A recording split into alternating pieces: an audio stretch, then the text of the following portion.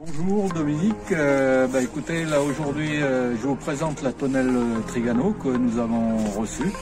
Donc c'est une tonnelle qui est vraiment très spacieuse, une belle hauteur et puis un intérieur très, très lumineux. Là ça, permet d'installer toute une cuisine nous pour le, le camping. C'est une tonnelle que l'on se sert pour camper avec voilà très lumineux une belle hauteur de, une belle hauteur de toit, avec aussi des, portes moustiquaires. Donc deux portes moustiquaires, une sur l'avant, une sur l'arrière. Donc c'est vraiment, euh, vraiment très bien pour, pour l'été. Et puis d'une surface vraiment euh, très, très agréable. Voilà, c'est vraiment euh, un article que je, que je recommande.